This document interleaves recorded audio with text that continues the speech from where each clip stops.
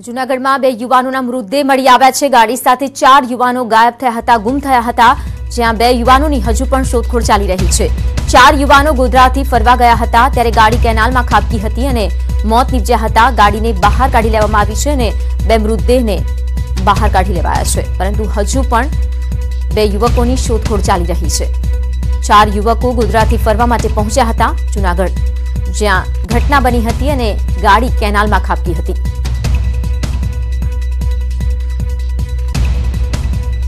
ચાર યુવકો ગોધરાથી પહોંચ્યા હતા, પરંતુ તે દરમિયાન અકસ્માતની ઘટના બની અને ગાડી કેનાલમાં ખાબકતા બેના મૃતદેહ મળી આવ્યા છે, જ્યારે કે બેની શોધખોળ ચાલી રહી છે. એક નદીમાંથી શંકા જતા તપાસ કરતા એની લાશ મળી આવેલી છે. એમાંથી બે જણની લાશ મળી છે અને બે હજુ સુધી એનો કોઈ પત્તો નથી.